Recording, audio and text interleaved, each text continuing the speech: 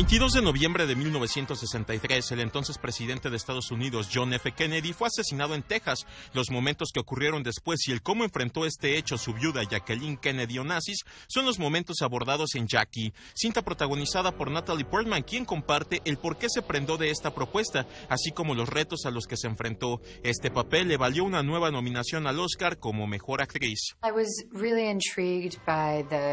Sort of format of, of Noah Oppenheim's script, that it had such a condensed period of time to examine this character. It wasn't trying to like tell a whole life story, and that you sort of get to see her through this very um, pressured moment and also through relationships with all these different characters in her life. So you got to see many different sides of I her. lost track somewhere.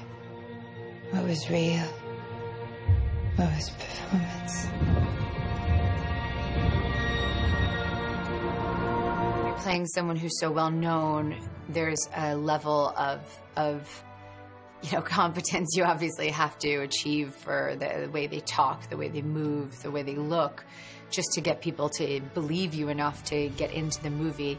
And then, of course, emotionally, um, it's such a an extreme experience that she went through that's almost impossible to relate to because you know you have grief in your life, you have tragedy, but this is on such an epic scale on such a worldwide stage that, you know, she's really probably the only person in history who's had this kind of um, this kind of experience. So. Cabe mencionar que el director del filme es Pablo Larraín, chileno que ha trabajado con el exnovio de Natalie Portman, Gael García Bernal. When Pablo Larraín came on as the director, I was really, um, that's what really excited me because then I saw that there would be a very sort of unconventional path to examine her, that he didn't have these sort of preconceptions and these, um, the, the overly reverent stance that maybe some Americans would have um, about about Jackie that would really allow us to look at her humanity.